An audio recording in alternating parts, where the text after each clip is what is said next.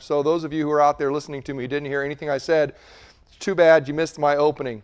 But the question, da da da da, we're here at the game. No, the, setting up your project. Welcome to your favorite game show. Okay.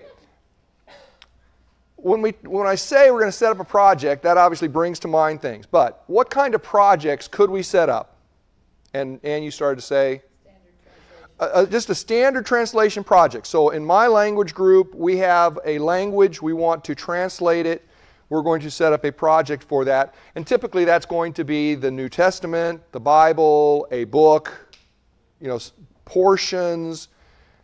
It could be one of those things, but we're going to have a, a standard translation project. So that's one, one type of project. Okay, what other kinds of projects could we have? An adaptation. An adaptation project. So I'm going to take something where I have a project already and I'm going to adapt it or adopt it, depending on where you're from. Of course, adopting a project sounds like they're going to be part of your family, and that sounds strange. So we'll adapt it.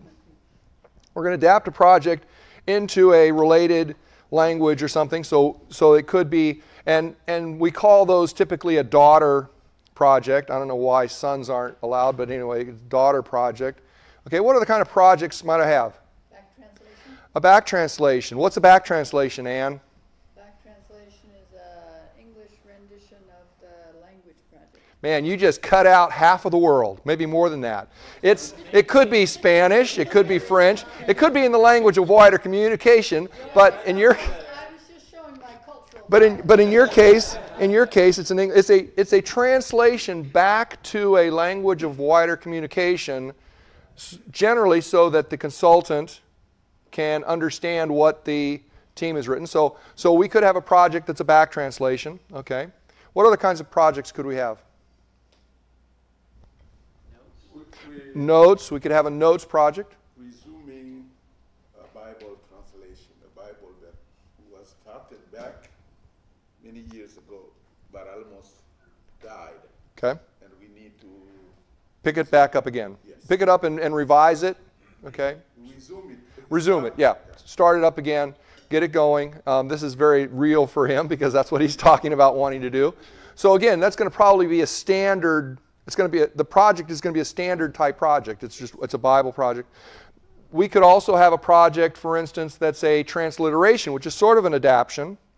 But the other day I showed you where Paratext could actually automatically transliterate it into a different orthography or a different script or something. So I could do that. Oh, I'm working with a group in uh, Egypt who are doing an Arabic study Bible. Okay? One of the things that Paratext gives us is an ability to do a study Bible. Now, in SIL world, we typically don't do study Bibles, but the UBS world, they do lots of study Bibles where much of what much of, much of what the, the Bible societies tend to do is say, okay, we have a Spanish translation. Now, we're going to create a special study Bible that's got special, special study Bible notes. And, and you all have seen these in the bookstores. You know, this one's the military study Bible, and this one's the teen study Bible, and this one's the mom's study Bible, and this is the moms who wear left footed shoes study Bible, and this is the one for moms who have their hair up study Bible. You know, I mean, you know, so you've got all these different study Bibles. Well, where do those come from? Because someone creates a study Bible project that adds all those notes to it. And you can do that within the context of Paratext. Paratext allows us to have different types of things. Now, let's go to the question that I have up there. When you're setting up a new project, one of the questions is okay, where is the text coming from that you're going to work with? Where's this text coming from? Is it something that already exists? Does, is it, you know, I mean, does somebody already write it down on paper somewhere? Or is it already in Word? Or it's something that you need to know. Are, are we starting completely from scratch? There's nothing? Is there some, you know, so th- this makes somewhat of a difference in terms of, of what we're going to do. But I need to know do I already have text? Is it already in a format that I can work with? Is the text Unicode? Does anybody know what Unicode is? Does everybody know what Unicode is? Does anybody know not know what Unicode is? Do you know what I'm saying when I'm saying the word Unicode? In, in our world of computers, in our world of computers, if we go back, back in the history of computers, we've gone through a variety of stages of encodings for text. And they used to be encoded in one of the earlier generations in a format we called ANSI, A-N-S-I, which gave you a font that had 126 characters, 128 characters, 128 characters. So your typical font, you could have 128 different characters. That's why sometimes you would open your, your project with a different font and it would look really funny because the, I would put my characters on this, this point. Sorry, guys who are watching back there, you can't see me pointing, can you? So I would put my I would put my thing on this point. See, now they can see me. Um, I would put my code point here, and somebody else would put their code point there, and it'd be the same thing. So when you open the, the text, it'd look different. Unicode gives you millions of characters and allows us to, to agree that we're going to use a font that everybody can see things. And so all of our encodings typically now have moved to Unicode. Now, that's not something that typically underlying you need to know about, really, except that if you've got old data, if, if you've got something that somebody said, I worked on this 10 years ago, here it is, it may need some help. So there's some of these things that we wouldn't expect the average user to necessarily say, oh, I can do all this by myself. You may have to call in a technician, may have to call in a, a Steve or a Neil to say, okay, can you help me get some of this ready to go? Okay? Is it what's called plain text? If you open up a Word document, Word documents have data that is special encoded underneath. It's not quote unquote plain text. If you open something in Notepad, in Notepad it's plain text. Okay? So in order for us to work with paratext, we need a document that's plain text. And does it have basic markers? In, in, in our world of paratext, we mark our text with markers, and again, those of you who are on the live stream are going to see this backwards.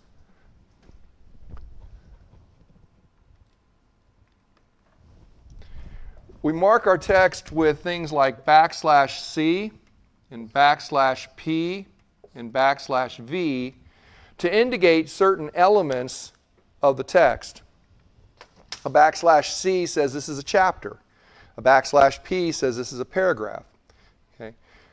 That also relates into how it gets formatted later, but this, this is something that happens with our text. So in order to, if I'm going to set up a project and I've got data, I've got text somewhere, then the question is, does my text have some of those markers? Because I can't really bring it into paratext unless I've got some of those things on it, ready to go. Okay?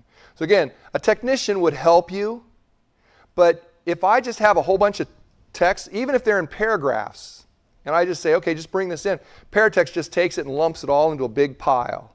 Okay, so I need to mark things, have it ready. So, how do I create a new project? I create a new project under File, New Project, and there's some information that's required and so I'm going to open up Paratext and I'm going to take us through this. Oh, look at that. I don't even have Paratext open anymore. I'm going to open up Paratext and take us through this. I don't want you to do this yet. I want you to watch with me. And then we'll, we'll do this together. You guys are going to actually create some projects.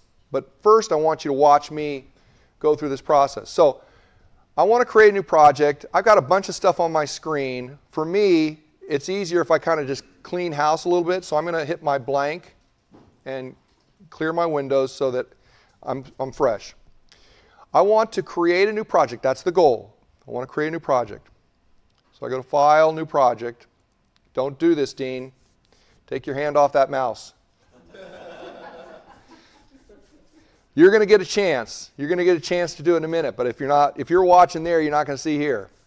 Okay, so when I go to file new new project, there's some things that are different now in 8 than in 7. The first is is up at the very top there's messages given to me. In this case, it tells me that there are some incomplete tabs and the incomplete tab is the general tab. When I open this window, I have four five tabs across the top. General, books, associations, notes and advanced. Four of those were there in 7. Books is new. Okay, so the other four were there.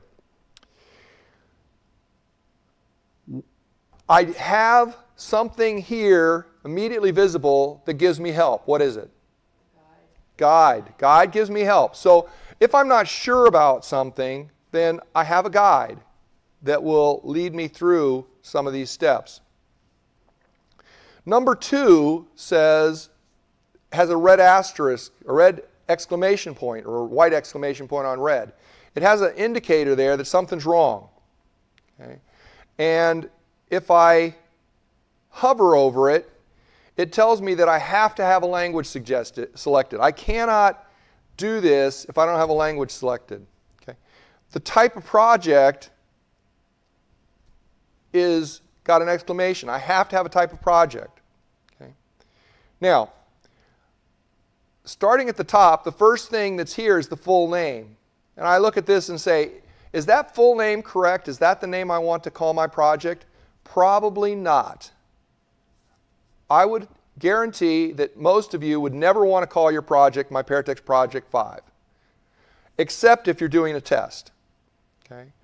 So normally that has to be changed. If I try to click there, I'm clicking, I am clicking, nothing happens.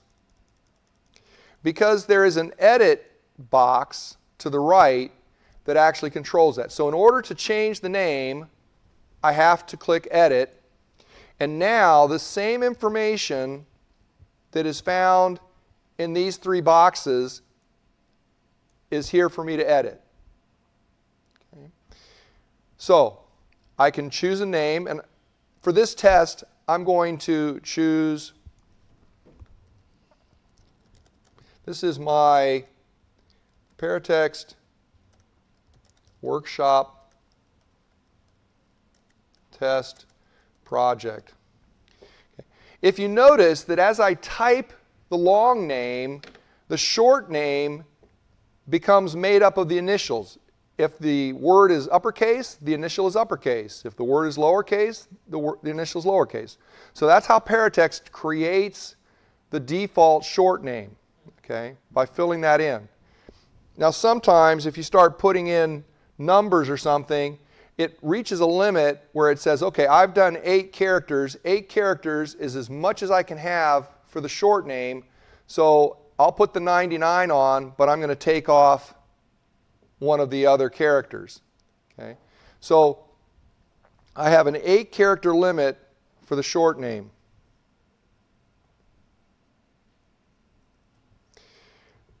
And if I make changes, it's not going to change. So now I can, I can actually change this short name to be anything I want. So I could call it 1, 2, 3, 4, 5. Okay? Not a very useful short name for me, but I can make the short name anything I want. The first time I type the long name, the full name, it's going to fill in the short name for me. But then I can make the short name whatever I want. I'm going to make it, this is my Okay? So I'm going to make it my, my name. The copyright, if I know who's going to hold the copyright on this project, I can put it in. Right now, I don't know that information, so I'm going to just leave it blank for the moment. But if I knew it, I would put it in. Okay. Notice that that then changes the information on the name. Now, when you're filling in a form, normally you fill it in from the top. That, that's normal. But this is one case where sometimes you actually want to start with the type of project because actually the type of project is going to affect what the name was in one crucial place. If I choose the type of project as a consultant notes project, and I, well, never mind, I lied. Um, if you have not edited this, then when you choose consultant notes, it'll give it a name based on your name. If I've already chosen the name up here, then it stays there. So never mind what I was just going to say. So if I've set the name, the name is going to be fixed. When I click the type of project, notice how many types I've got. We talked about standard. We've got back translation, daughter translation, transliteration manual, transliteration encoding, study Bible, study Bible add-on, additions, auxiliary, consultant notes. Wow, I'm overwhelmed. I can't keep track of all that. Okay? Most of you are going to create standard projects or maybe back translations of those. Or maybe a daughter, which is an adaptation of one. Okay? While we're here, what is a consultant notes project? I have no idea. A consultant notes project is a special notes project that you on your computer can put notes in that only you see or anybody you share it with. It's not related to your standard project. It's not linked. It's not linked to any project. It's a it's a project. It's a notes that look like regular notes. It's a notes thing that you can put your notes and comments in. So you as a consultant might want to have a consultant notes project that you just put notes in for yourself. The team doesn't see those unless you share it with them. Okay? Now, It's not- It's not linked to a project, but do you see the translation or anything? You, well, anything you have open on your screen, you can see. I mean, if you open a project on your, if you open a standard project on your computer, if you open a translation, you can see that. But the consultant notes are not linked to it. It's a separate project. And we're going to talk about notes. We're going to talk about notes later on in the week. But Lynn, what do you, Well, I guess I'm just really curious that with consultant notes and study Bible, Paratext then format uh, whatever you put in that project according to that type? I mean, I'm, I'm sure. Right, right. So, so if you choose a study Bible, a study Bible means that there are some special features that Paratext is going to add on that are only available if you're doing a study Bible, like ex, what, what's called extended notes. There's an extended kind of notes, extended sidebar notes that allow you to put notes in a sidebar. Those things become available to you because you're using a study Bible. Since you're asking the question, I'll make it a consultant notes project. When I do consultant notes, it says consultant notes are not registered, but can use, send, and receive to the internet. So this is not a registered project. Notice I still have to choose the language. Okay? What language is my project going to be? And I'm going to say that it's in American English. Okay. Now, there's still other things that I could set up. But, but according to Paratext, there are no incomplete tabs. Notice at the top, the pink went away. So as, of, as far as Paratext is concerned right now, I could set up this project. Okay? So all I did was give it a name, I gave it a language, and in this case I chose what kind of project was. And because of the interest here, I'm going to say it's consultant notes. Okay, so hang with me. I'm going to click OK, and it creates this thing which looks like notes. Those who've used, those who've used Paratext, this looks like notes. It doesn't look like a regular text project. There's no place to edit the text. Let me open my ZZ project.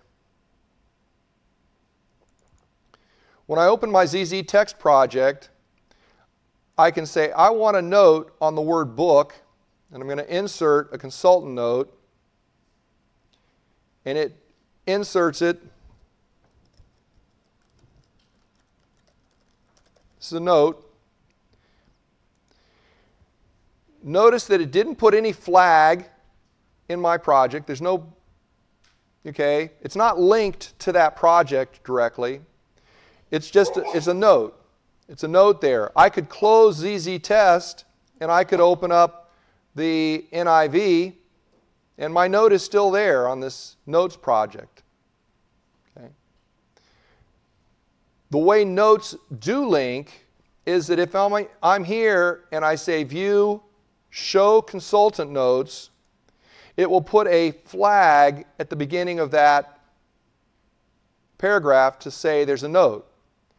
If I switch to the ZZ test, there's no flag because I didn't open consultant notes, but I can open that consultant note there and it puts the flag there because I've said open the notes. If I send this project, my ZZ test, to somebody else, they won't see that. This is only for me. Okay? But this consultant notes project that I created can be shared. So I could share it with Jim, and then when he opened it, he would see it. But he wouldn't see the flag in ZZ Test unless he said show consultant notes. Consultant notes are a special type of project, special type of note, and we'll talk more about it later. I'm going to delete that project.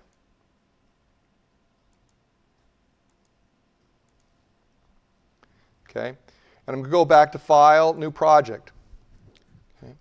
So when I'm in File, New Project, and here's what I wanted to say about type of project. Right now, the name is My Paratext Project. If I go to select this and say it's Consultant Notes, notice what happened to my name. Okay, so if I choose Consultant Notes, it will automatically name it, and it does it as my name, and then it creates that code. I can change that. I can edit that name and make it different, but it will do that. Okay. If I call it a standard project, once a name has been put up here, it doesn't change that again. It just I have to edit it. Okay, so I can edit the name. So let's work with a standard project. Again, I have to choose a language, and I will say that we are using um, Greek. This is going to be a, a text I'm going to do in Greek. And I'm going to give it a name, and I'm going to say this is my Greek My Greek translation. Some people might want to call it my big fat Greek project, but I'm just going to, okay, so I'll call it my big fat Greek text translation. Okay, so so I give it a name. I give it now when I'm naming it, this is where we've run into problems with our projects over the years because naming it my Greek translation isn't very accurate because then it becomes MGT and that could also be my Galatian translation or my Goliath translation or Mindy's um, general translation or, you know, my Goa text. You know, I mean, it could be anything. And so typically, as we're thinking about the name, we want to, one, think about the ethnologue code that is attached to this project and, and particularly use that for the short name or at least part of the short name. So what I'd want to do is look up in the ethnologue what's the, what's the short name. I don't know how many of you are used to looking up things in the ethnologue, but, but if I right click and open up Chrome and search for ethnologue, and I look up ethnologue.com, then I could say okay, I want to look for a language. I think you have to be registered for Ethnologue before you can get all of it. You can get a certain, I think like one page or something for free, and, and then you, you know, so you can't do this a lot, but you get a certain number of checks on it. But Um, if, but if you're in certain organizations, it's free. Not, well, yes, this is probably true. If you're logged in as that organization. So, so I look up Greek and I see that the, the Greek code is ELL. That's the code for Greek. So if I'm going to do this correctly, then what I'd want to do is make my translation the ELL, at least ELL, and then I could add something like ELL Bible or something for the short name. For the long name, for the full name, I could still say it's my Greek translation. Okay, that's okay. But the key is that short name, I ought to include the ethnologue code in it so that I have something that very clearly delineates this from other texts, okay? Um, if I try to put certain characters in here, like I say, this is the ELL hyphen, okay? It doesn't like a hyphen. I can't put ELL hyphen, okay? But I could put ELL underbar, okay? So I could put ELL underbar New Testament, for instance, NT.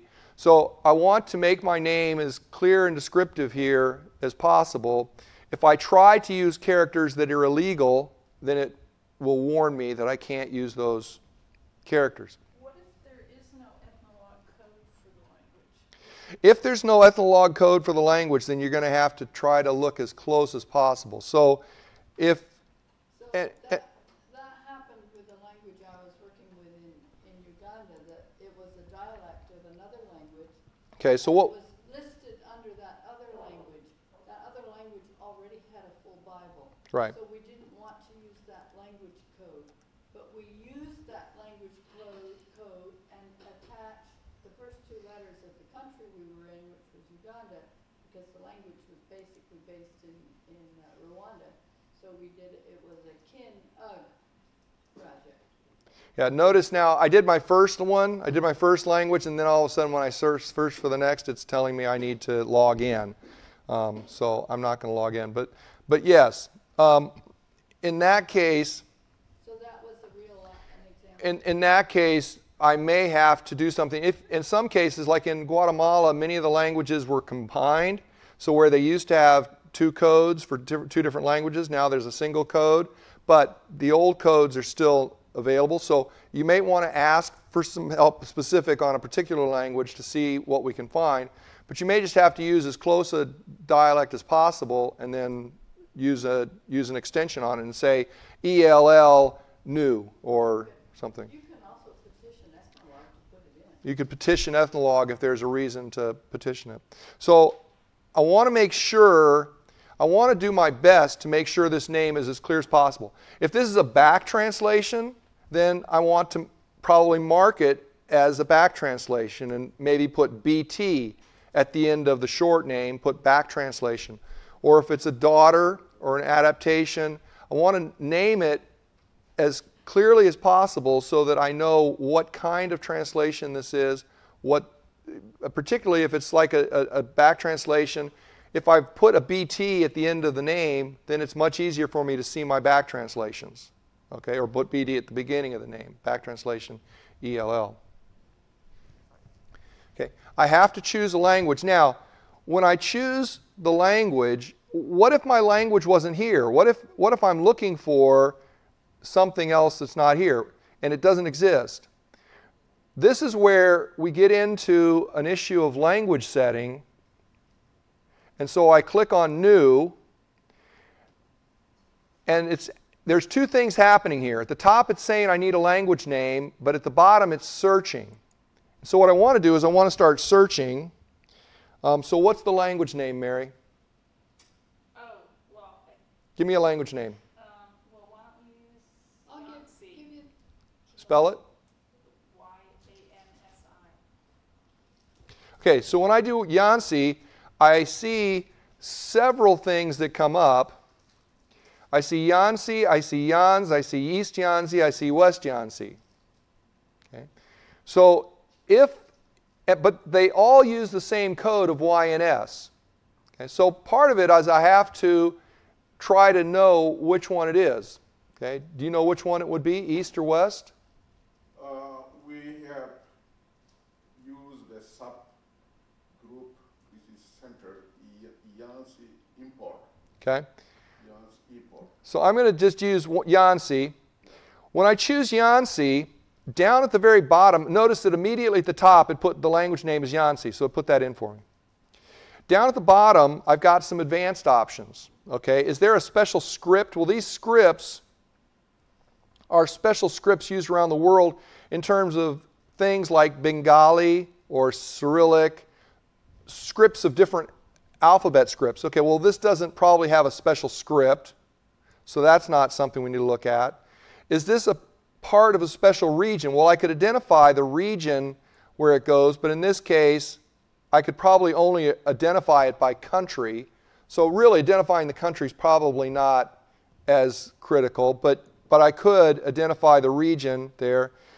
Then there's a variant, and there are certain variants that have already been identified for certain things, but this probably doesn't have a specific variant that's already been listed. But this is where you could write in a variant. So I could say, I could choose to manually type a variant. And you'll notice that down at the very bottom here, it's telling me what that name is going to be now based on the variant that I typed in. Okay. This would also, if I chose a script, and I'm just going to randomly cho- choose something here. If I choose things, as I choose these, this information, basically it adds that advanced information to the, the name and fills it in. So if you have a language that you want to make more specific, then you can either choose some of the preset options or with the variant you can with the variant you can actually type in something. Okay, with the other things you can't you can't type something individually, but here with the variant I could. So I could type in something specific that I wanted to add to that. Okay? Click OK. Now that language is there, but it didn't actually add that variant, did it? So I can verify this by going to Edit View, and I can see that it is actually there. It didn't add it to the language name, so I might want to change this and say language name Yansi and, and add whatever part I want to the name so that I have the name that I'm working with. So I can choose the name,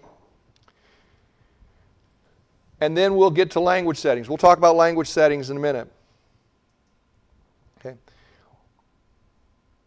Versification of a text has to do with where the verses are, and for the most part, most of us use kind of the same versification. But in the Old Testament, sometimes when you're looking at Psalms, you'll see a Bible that says Psalm 22, parentheses 23. Okay? That's because there's two different versifications being considered. And so the versification for one says that this is chapter 22, the versification for the other says it's chapter 23. Which versification should I choose here really depends kind of on how I'm working. And probably what I'd want to do is see I'm following the NIV. What versification did the NIV use? And if you remember when we were looking at open projects before, we could see the versifications in the list. So I might want to look and say, what versification are these source tools using? This is the kind of thing you discuss in that translation brief that we Right. talked about yesterday as part of the project plan. Right. And so so yes, this is not something that we're doing in isolation, hopefully. Hopefully we're doing this together. But the reality is oftentimes one person sits down and starts doing this. And the question is, did you discuss this in the brief? And did you discuss in paratext what the options are? So again, you'd want to look at this, but one place to kind of see what the, the, the options would be is to look at resources that exist and see what vers- versifications they were using. Generally, for things we're doing, we're, again, it just depends on your region. If you're in, in Central um, Asia, you might be using the Russian, you know, as a, as a deception. You're probably going to use, for most of what we're doing, we're probably going to either use the original or the English as a starting point. Okay. You can change it later. We can customize, and you can change that later, yes, but we can customize this as well. Okay. Now, there's a based on column here. That based on column only becomes active if I'm doing a type of translation that requires a based on. So if I switch this to back translation, then it would say I need to base it on something. Back translations have to be linked to a front. If I choose daughter translation, the daughter translation has to be linked to the front. But something else happened when I switched from standard to back to daughter. On a standard translation, there's an option here to register online. On a back translation, it says back translate base project is not selected, but the registration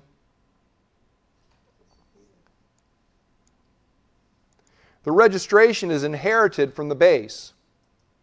Okay? So for a back translation, I don't register it. If I switch to a daughter translation, a daughter translation is registered separate. If I switch to a transliterated, it gets its from the base.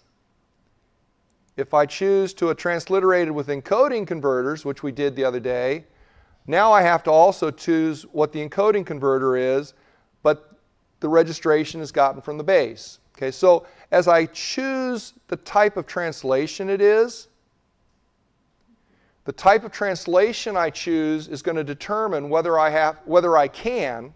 I do not have to. Okay? Hear that. I do not have to register, but I can. Why would I want to register? Send receive to the internet, printing, interlinear. Okay, so if I don't register it, I can't send receive to the internet. Again, I, am going to keep kind of cycling back on that thing because that's, that's what happens. But I don't have to. For this test process, in a minute when we start doing this, I don't want you to register them. Okay? For the moment, I don't want you to register. We'll register projects later, but I don't want you to register these. Okay?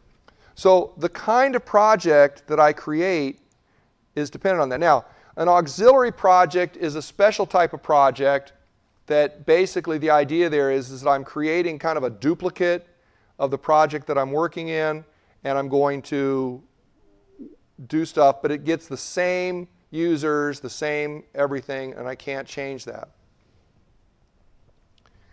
Why would you do that? I haven't really figured out exactly why. I, there's, there's question as to whether this is useful or not, but some people, you might want to just have a different, a separate project of the same text. If you had, um, people that were close, y- you know, like ninety-nine point nine percent the same, but one group just really wanted a few different vocabulary words, would that be a totally different translation, or could you use the auxiliary for that? I wouldn't use the auxiliary for that. I would probably use either a daughter translation or a, a trans, probably a daughter translation so that they were actually separately registered. And then I'd bring the text in and I'd modify it. But there's different ways to go about doing that. It depends on how we want, how much change needs to be made. So, so on this first page, on this general page, there's some important things I need to keep in mind. One, I need to make sure the name is set right, okay? I need to know that I've chosen the right type of project, and I need to, to choose the language. Make sure the language is, is chosen, okay? Notice now that I've chosen standard, notice I still have pink up there. Okay. But now it said that there's a problem with the books tab. Okay, so I go to the books tab. On the Books tab, this is called the Project Scope. This is a new feature in Paratext 8. It did not exist before. And the idea here is that I'm going to pick what books are in this project for the project plan. Now, back translation won't have this because the back translation gets its scope from the front, from the front, okay? So certain projects won't have this, but if it comes up and says you need to include the scope, then you'd want to come up here and you would say, are we talking about the Old Testament, the New Testament? If I choose all books, that includes the Deuterocanonicals. If I say, oh, I messed up, I can deselect and start over. Okay, I just am doing the New Testament. So I choose what books are in the scope of what we're doing. Can I add to the scope later? Sure. Okay, if later on, if I start and say we're doing the New Testament, and then later on we say, okay, let's do the Old Testament too, I can add the Old Testament. If I say we're doing the book of Luke, and later on we want to add more books, I can do that. Okay. Or I could take something off the scope if I said, oh, you know what, we're really not going to do, we, we decided not to do the whole, whole New Testament, we're just going to do the Gospels, then I could take the rest of them off. All that's changing is what's seen by the project plan. Okay, the project plan works with what's the scope. This does not change what books I have in Paratext per se. If I take, there was a time when if I took something out of here, it deleted it from Paratext. And we decided that was a bad thing. It's, it's like, whoa, what happened? I, I, what happened to Genesis? I, you know, I, I didn't want it in the plan. I didn't mean to take it out of the project. Okay, so, so this just deter- determines what's in the plan. Now, there's three other tabs here. Let's take a quick look at these.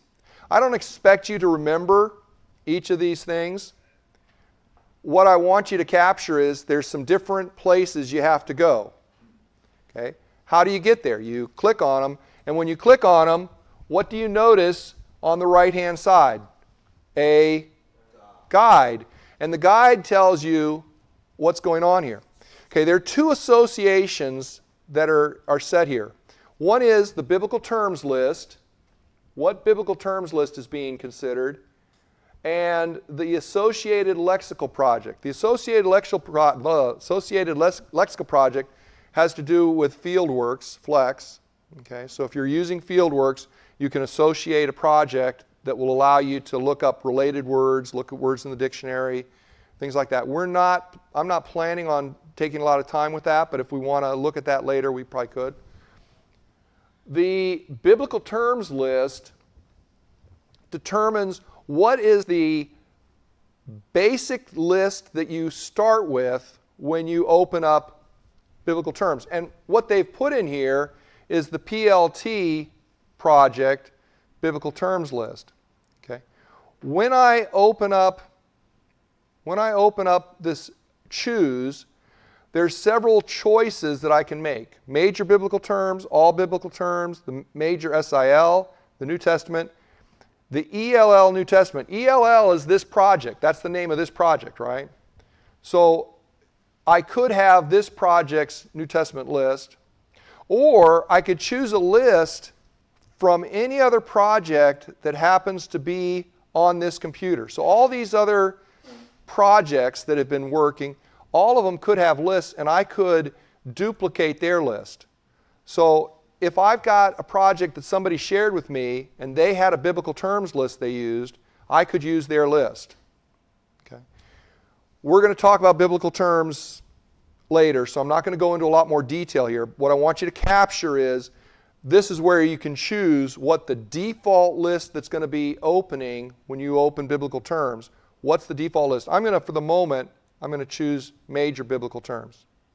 Does, does that mean when you, when you choose that, you're just getting the, the base list?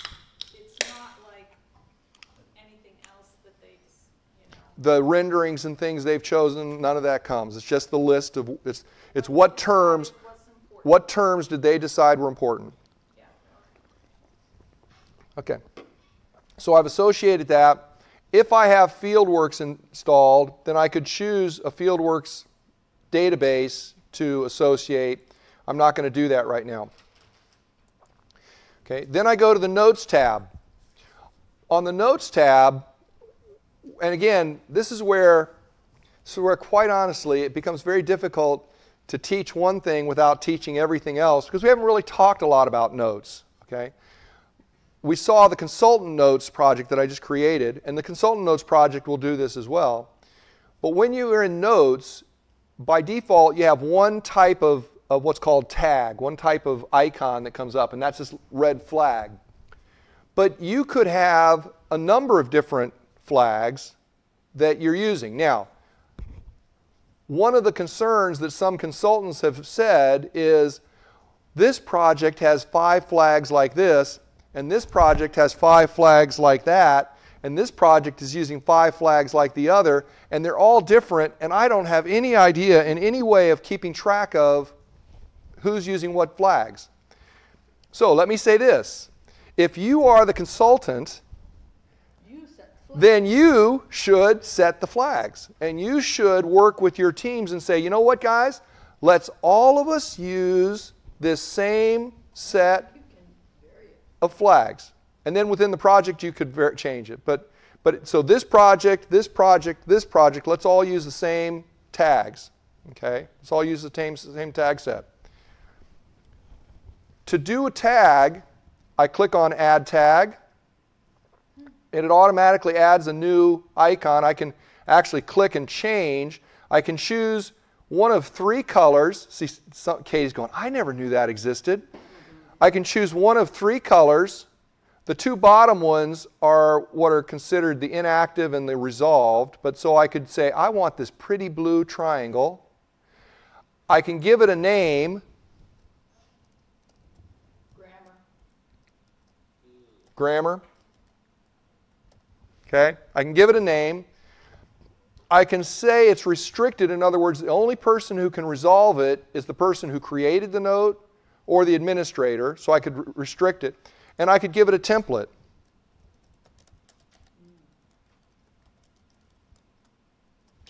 If I give it a template, what happens is when I create a note and call it a grammar note, it'll immediately put that template on there. So it'll always start each note with that phrase. Okay? This is an exegesis or Punctuation. Is this, is this punctuation correct? Okay? And if that's the template, then every time you apply that, it's just going to put that on there. You don't even have to write the note. The template will fill that in for you. Okay? So, so again, like many of the other places in Paratext, this is a place where, in reality, this can be really, really powerful if you take your time to set this up correctly and do it. But the concern is it should be somewhat consistent among the teams. There's been a call for Paratext to create a set of maybe 10 tags that everybody could use. Some people would like that. The problem is, okay, how do we decide which 10 and do they have templates and do you know are they restricted or not? So let me say to you as a consultant, consider if you're working with teams, consider deciding how you want to set this up if you want to do that. But you can add tags. Can you change later, like halfway through, you're tired of that, this is a grammar note, and you just wanna say grammar note? You could take the template out. You could edit the template later. But is it gonna change it? It won't change the ones that are done. Okay? It won't change the ones that are already done, but it would change from then on. Okay? And then the last tab is advanced. And this is this is important. Typically you're not going to change much here. Okay? But it's important to kind of know what's here. And I'll say this for again for people who are kind of listening in. The, the first thing is called the style sheets. Paratext uses a style sheet that says a paragraph should be indented this far and should be this big font. And it should be this color, or it should be, th- you know, a section head should be centered on the page and it should be this. A, a script, a parallel passage should be italic. And so the style sheet says all that. By default, we encourage you to use the USFM style, usfm.sty as the basis, because that's a style sheet that has all of the markers that we consider acceptable for publishing and such. It is possible to customize this, and we'll talk about customization of this. It's possible to customize this with a what's called a custom style file that as your basis you use USFM and then in your project you customize and say I want to add green to all my section heads so my section heads stand out for instance okay so I can do customization but we want to do that with a special additional file that we're going to put in the folder the typical file name you'll notice that it shows a format that format can be edited, but it can only be edited before you create it. Once you create this project, you can't go back and change it. Okay? But right now, I, am saying that the, there's a scheme which is 41 mat, mat. I could say, I don't want to have 41 mat, I just want to have it to be mat. So I want my files in Windows, it's what the name are in Windows, I want them to be called Matt, Mark, Luke, John, etc. The problem is that if you do that, then they don't alphabetize very well. Okay? Because Luke comes before Matt then. So if you use the scheme that we've set, 41 Matt, that means it's going to be 41 Matt, 42 Mark, 43 Luke, 44. So then they line up, they alphabetize. So that's the reason for that. Somebody asks, why are we starting Matthew at 41? Okay. Is, did I hear that question? Yes, I heard that question. Okay. Because how many books are there in the Old Testament? 39. So one would think that Matthew might start at 40, but they didn't do that because there are intercanonical books that they left at kind of 40, and so Matthew starts at 41. Part of the long history, probably not going to change that, but that's where it is. Okay? But you can change the extension SFM is a standard nowadays. There used to be a time when we used PTX for the extension on Paratext files, but PTX is a hidden Windows extension. And so that can create problems if you do a Windows restore. It restores them back to the way they were um, last year. And you never want to restore your project back to the way it was last year, probably. So, so typically, typically, you're not going to change that. The encoding, as I told you, Unicode is our standard these days. And so typically, you're going to choose Unicode. But there are projects that have data that's in other formats. And so you might choose a different encoding normalization. Some of you, yeah, okay, you guys are sort of seeing me. Some of you may have seen that sometimes you'll see a character that looks like that, an accented A. In Unicode, this has a particular code point, and it has one code point. But you can also take an A, which is one code point, and then add a combining character, which is another code point. So this and this are two different things. This is a compose, uh, this is, this is composed because it's a single character. This is what's called decomposed because it's made up of multiple characters. And in Unicode, you, you want to have things normalized. You want to have everything function the same way. So you can choose whether it's normally composed or it's normally decomposed. Again, if you don't know the difference, don't worry about it. Just leave it, accept it as the stand, as what's there, and just go. But for some language groups, they're going to say, okay, we want to choose which way this goes.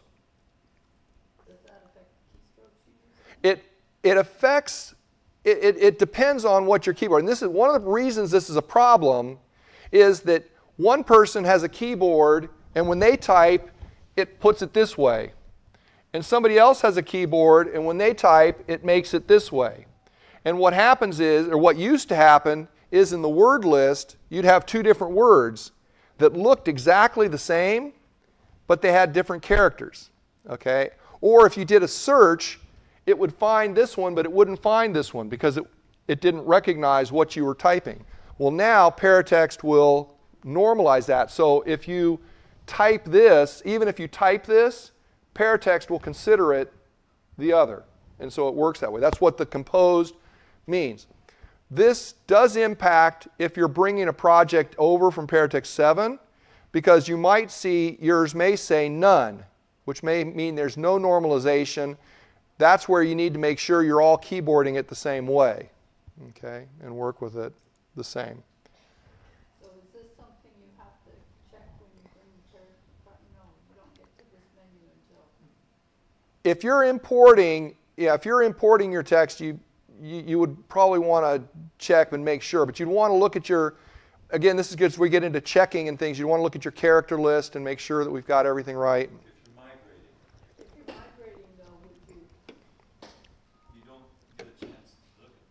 You don't get. A chance to look at this before you do it. So you'd want to consider looking at your text before you bring it in and say, are all our characters the same? But again, you do that in your character inventory. Okay. Is editing enabled? Um, if you turn that off, what it means is I can't edit this at all, which you probably don't want to create a new project and turn editing off. Okay. probably not a good idea. Do you want to allow other Paratext users to this, access this project as a resource? Right now, that option is not available to us. Do you want to share the language information with the SIL deposit repository? And there's a why here. Why would I want to do this? Okay. The way we have a, a language repository, data repository, where we're trying to keep track of information about the different languages in the world. What are the, what are the characters that are used in that? What are the sort orders?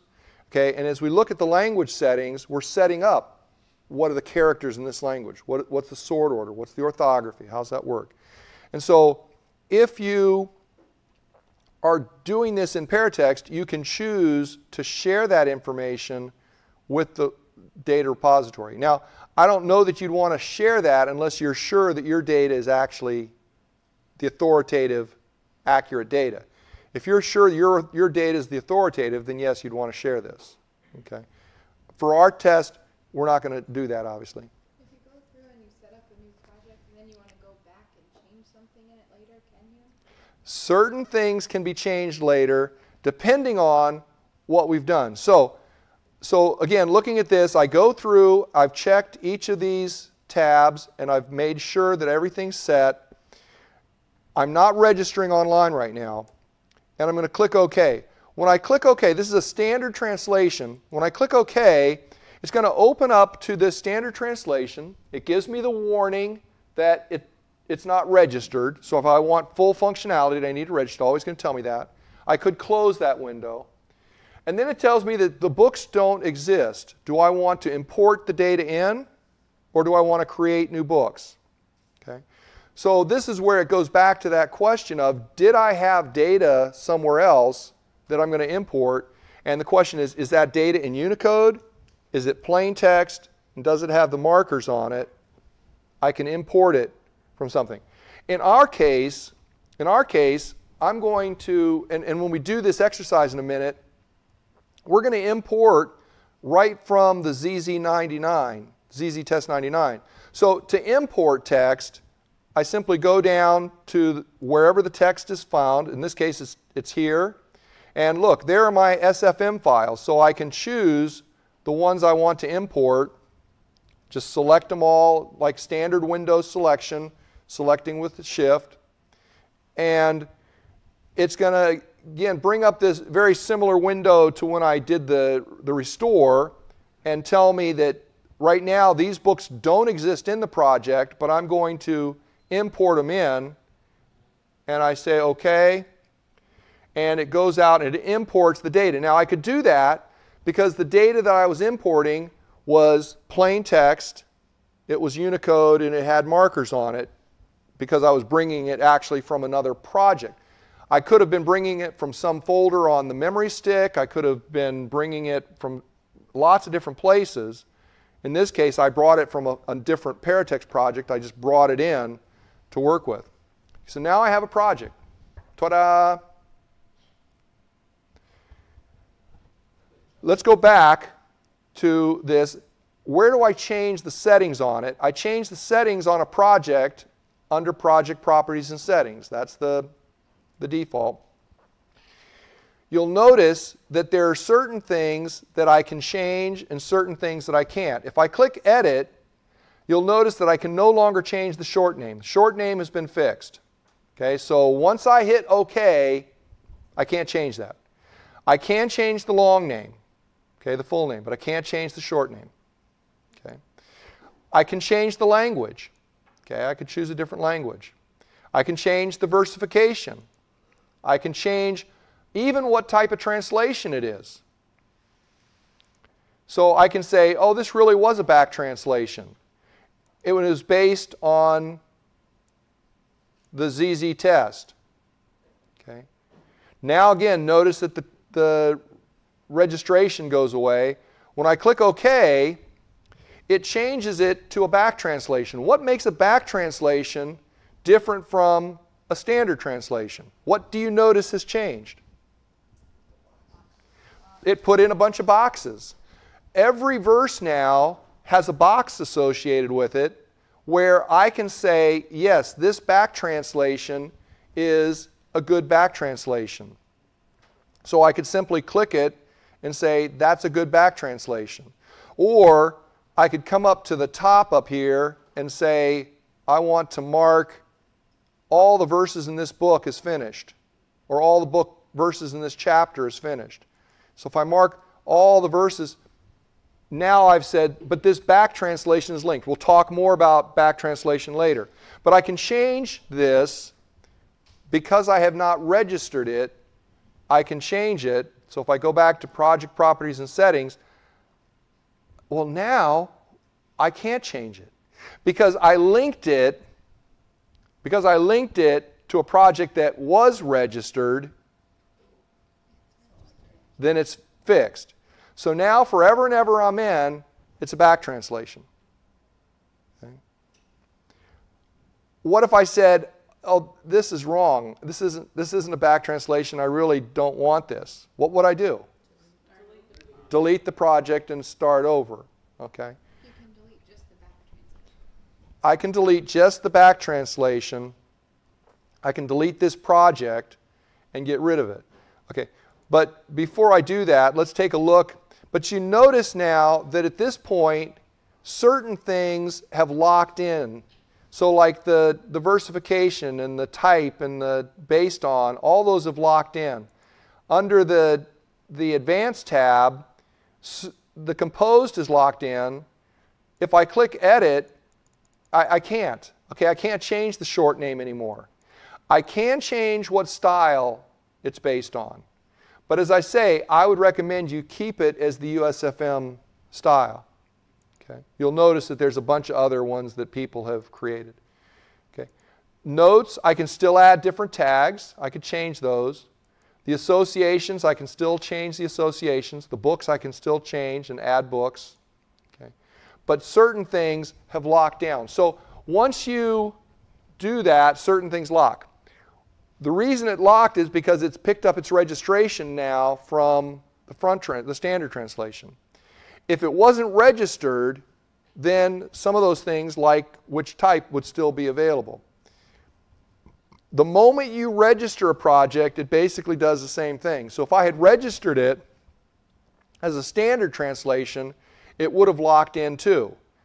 And then the question becomes, where do you change the registration of a project? And it's on the registration website. Okay, so you, so we start once we register it. Once we register it, then we have to start interacting with the website to get that done. So, in this case, just so I understand better, this is, it turned it into a back translation, and if you were to go to projects, there would be no base project anymore, because it would just be a back translation. Well, And it inherited that registration. I had a project named ELLNT, and originally it was a standard translation. When I changed it to a back translation, then there is no ELLNT standard translation anymore. The, the only translation is a back translation, right? But it's associated, it's linked to this other front translation over here. Okay, and we'll talk more about how to what that link can be because I linked it in the settings. I linked it to the ZZ test project. So this this back translation, a back translation, is linked there. Now, some people create a back translation and they never call, they never link it as a back translation. They just call it a back translation. It's a standard translation, but they call it a back translation. You can do that, but then you lose all the benefit of linking the translation together so that it knows what's happening. So if you're going to do a back translation, typically you want to link it to the front. Okay? You want to link it to the front so that it that it gets that information. Can you have more than one back translation linked to any given project? Yes, I think you can, Neil. You can link multiple back translations, right? So you could have one back translation in Spanish and one back translation in English linked to the same I've never front. tried it, but I would hope you could, yes. I mean, so I could do that.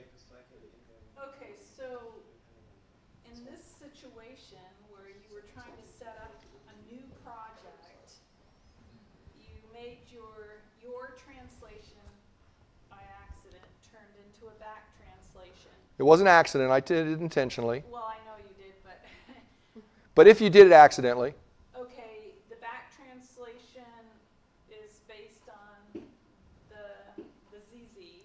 mhm. Okay, and then there is no new tran, new translation project, so do you do it again? Do you make another one? Well, okay, so so here's here's the here's sort of what I was trying to do. I said I want to go create a project. Okay? If I was wanting to create a new translation, you know, a new standard translation project, I'm going to create a translation project for Yancy, okay? Then I want that to be a standard translation, okay? If I make it a back translation, in order to make it a back translation, I have to say it's based on something else. Okay? So if I have a back translation and I say it's based on Yancy, then there has to have been a Yancy project that I'm linking it to. I can't just make it based on anything. I mean, so I have to base it. So it partly it's a question of what is it you're trying to do. You've got to link the back translation to something. So I can't accidentally create the back translation. I mean, I, I did it because I realized that what I wanted was a back translation based on the that ZZ test. So I did that, and when I did that, it, it automatically locked in some things because it's now registered under it. Okay? But if I really wanted to create an ELL New Testament that was a standard text, at this point, I would either need to create a new project completely and get a new name, or I'd have to say this back translation, oh, they messed up. That it's not supposed to be back translation. So again, I'm going to delete that project and I'm going to start over. And now's when you can put your hands on your your mice. Okay? So I just deleted that project. Now's when you can put your hands on your mice and what we want to do is we want to create a couple of projects. So First of all, where do you go to create a project? File, new project.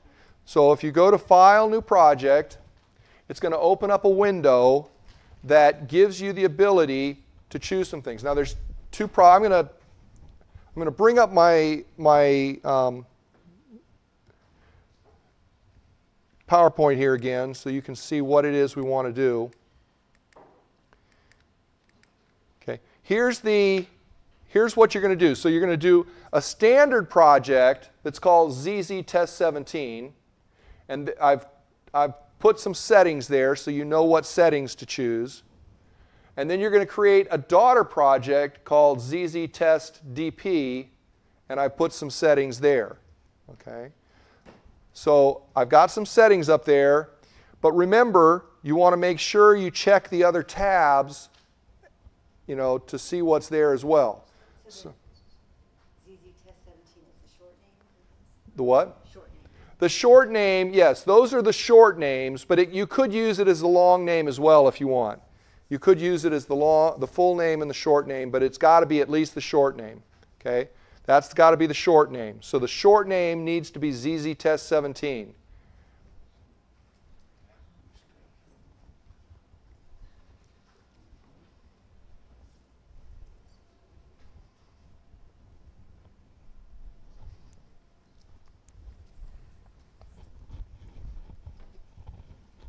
Okay, so to edit that, click on Edit. Okay, and so for the short name, well, go, just wipe that out. Wipe that out. All the way. Just delete it all. And put put Z. It's going to be long and short. put ZZ test 17.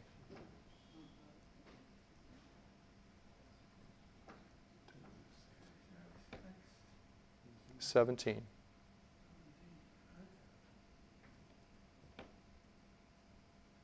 Okay, now copy that and paste it down here too. We're going to use the same name for the long name and the short name.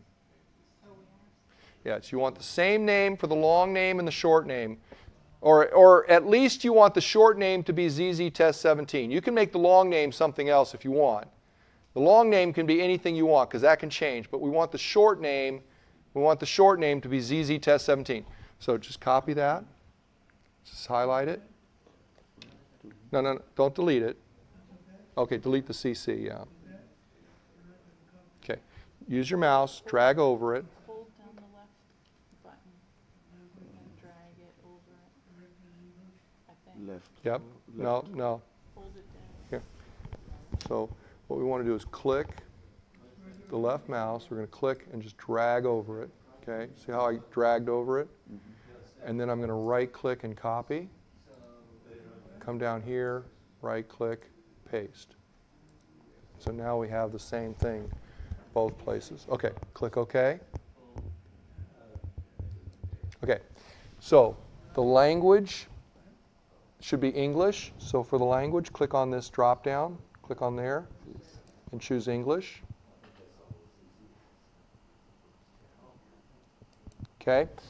The versification is going to be English. It's already English. That's good. The type of project says create a standard project. For so type of project, we want to choose standard.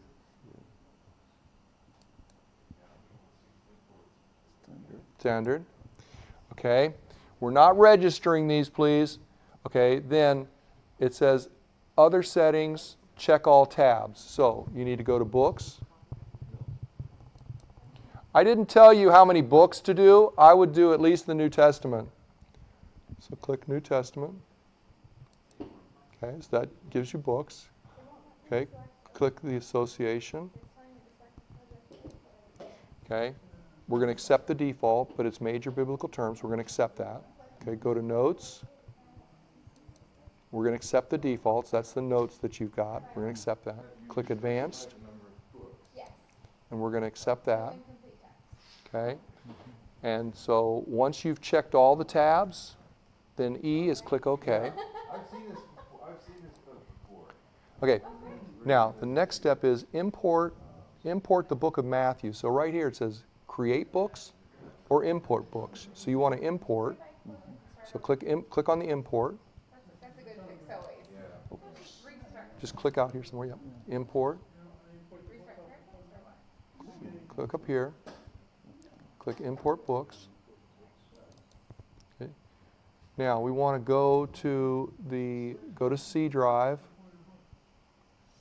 Here. Yeah, double click. Go to My Paratext 8 projects. Right from here.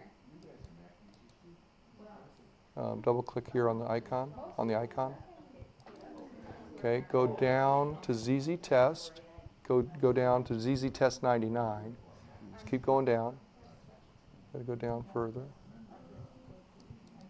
Okay, ZZ Test 99.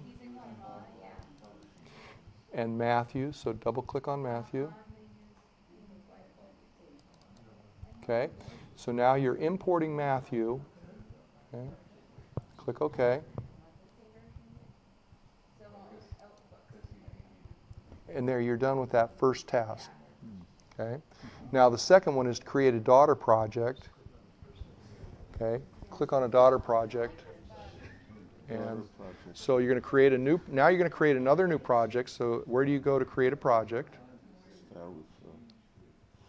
Right? New project. Up at the very top. Okay. This time, it's going to be a daughter project. So the type of project is going to be daughter. So let's change this to daughter.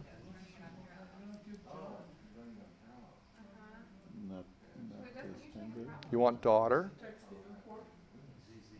Okay. Now you need to say based on, and it's going to be based on the ZZ test. Mm-hmm.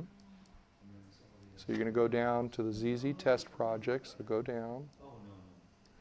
ZZ Test 17. Okay. Now, we need to give it a name. So go up to the edit the name.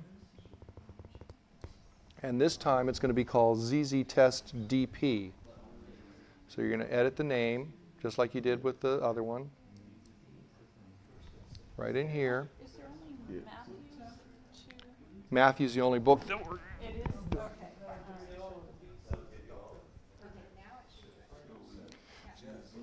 We want it to be ZZ Test DP.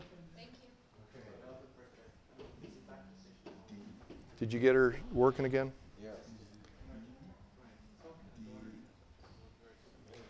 You got yours, Larry? Yeah, except for I have a, an incomplete tabs in notes. I'm trying to figure out what that includes. Did you associate something? What DP mean? D, okay, so DP. Now, so down here, we want to make this, change that to ZZ Test DP. ZZ Test DP. Get rid of all that. Yeah, okay. ZZ Test DP.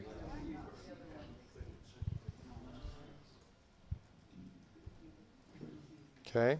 Click OK. Okay. What language is it? You can, again, choose English. You would choose your language.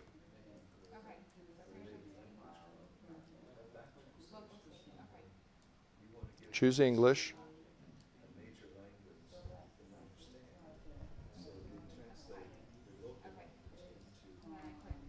Okay. Now, the versification is English, everything else. So now you need to check your other tabs. Check your other tabs up here. Check these tabs. You know, as soon as I put stuff in, that register thing goes across. Right. That's okay? Yeah. All right, okay. It's just look, what it's doing is it's going out to see does this project have a registration already.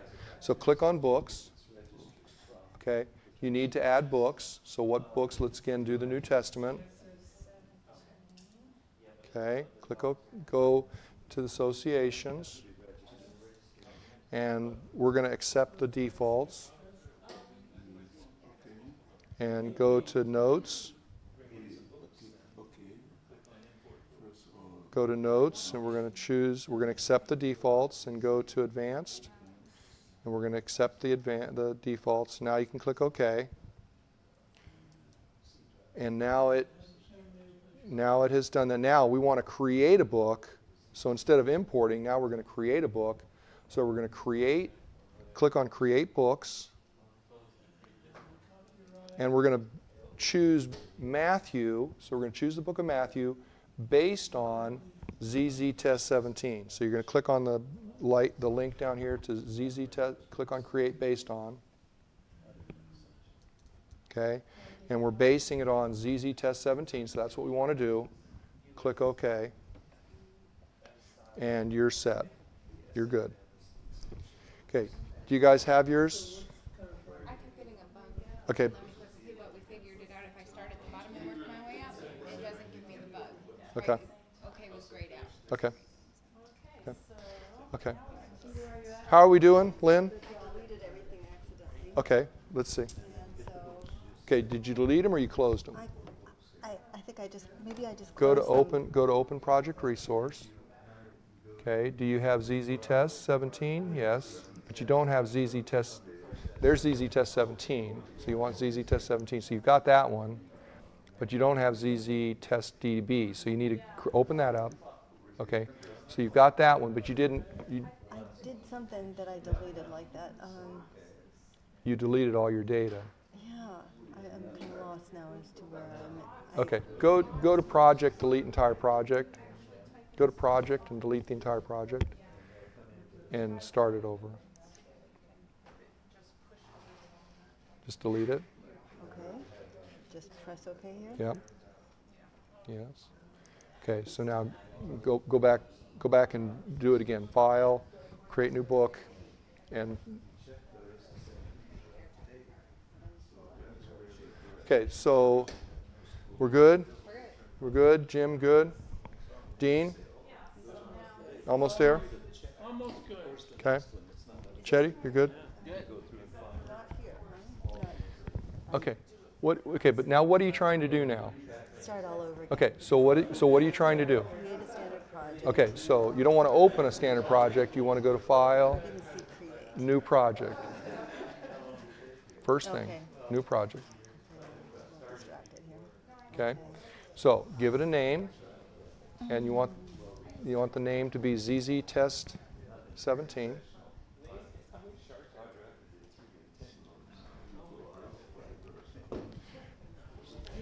Hey Neil. Or Steve, can you kind of help Lynn here? All right. So we're almost all there. We're, we're finishing up. What I want you to, hopefully, what you've captured is that it's relatively straightforward to create, to create a project. Okay?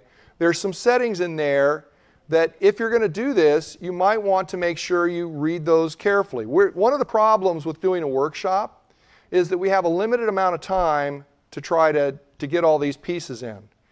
And so we don't have the luxury of saying, let's take all day to create this project. In reality, you'd want to take your time, read the guides, make sure you're understanding what each thing does, ask questions about the things as you go through, and, and work your way through it. But what we've done, what we've done now is we've created we've created these, these two projects. One is a standard project, and the other is a daughter project based on it. Okay? The other is a daughter project based on it, where you're, you're going to work with that, that process. Now, at this moment, that daughter project doesn't have any text, right? It's blank. That you put some in. Well, did you do the create based on, or did you do import from? You did import from. Okay, but the bottom one, the, the, the top one says import, import Matthew, but the bottom says create based on. Okay? That's okay. Yeah, that's right, you're right, I didn't read it carefully. So reading things, reading things carefully makes a difference. Okay. Now, if you if you created the book or you imported the book rather than creating it, what we can do, let's see, have I I haven't finished creating it, so let me let me let me do mine here real quick because I didn't do mine. ZZ DB or DP.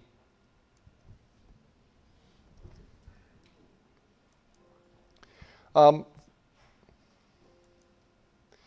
for purpose of this, it's a daughter translation. I'm going to base mine on the ZZ 99 because I didn't get around to creating the 17 yet.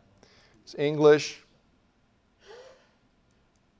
and the books of the New Testament. Now, here's what, what some of you did was instead of importing, instead of creating, you imported. So if I import Matthew, if I import Matthew, what I'm going to have is something that looks like this. I say, oops, I didn't really want to import that text because those are exactly the same. They, now they're the same. They're exactly the same. What I want to do is delete that text. Okay, so here's how I do that. Project, manage books, project, manage books, delete books. And when I do this, it says, what books do you want to delete? And it says none. I'm going to choose Matthew. Okay.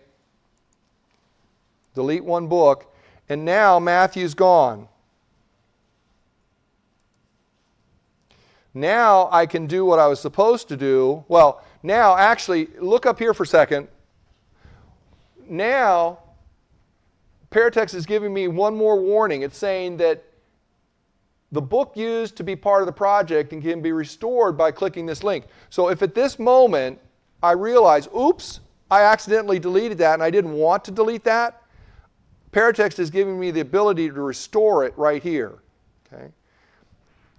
Or I can import it from somewhere else, or in the case of the assignment that we were doing, I could create it. And so if I click Create Books, when you create a book, Paratext gives you three options.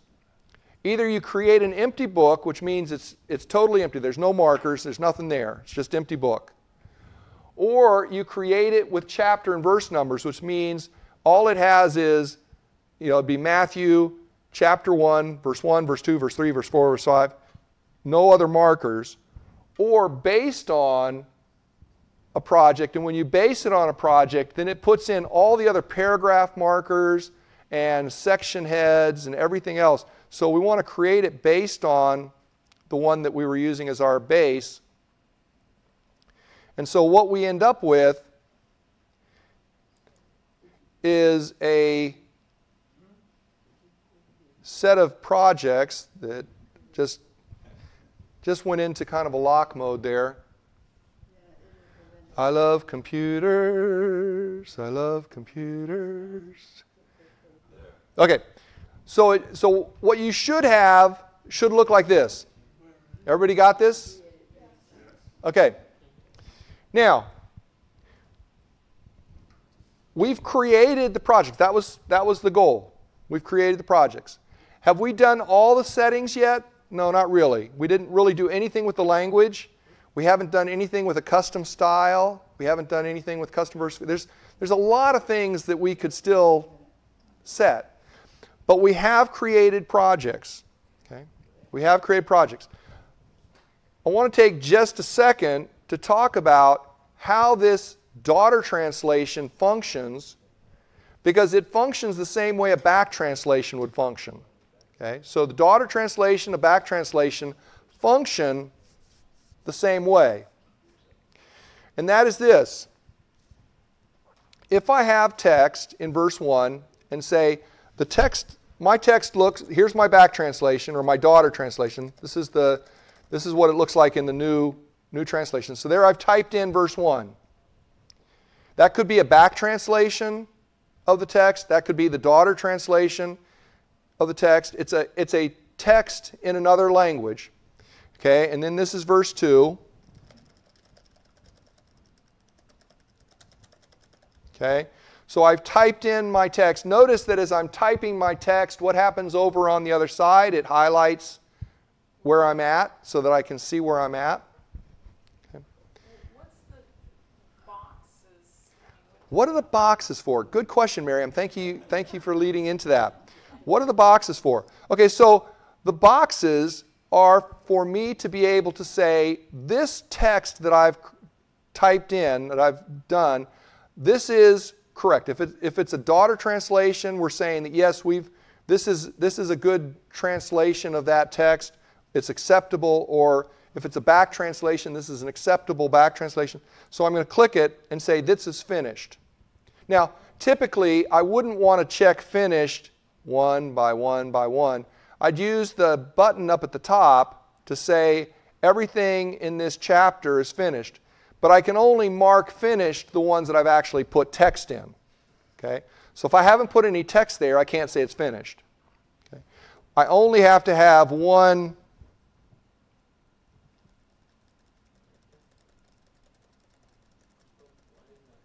If I have one text there, then I could say everything in that chapter is finished. And you'll notice that now has, you know, text mark. So obviously, marking it finished is something I need to do carefully. Okay? And we're going to continue this discussion in 15 minutes after we take a break. Okay? So let's take a break for 15 minutes and we'll come back and continue talking about what this means for me with the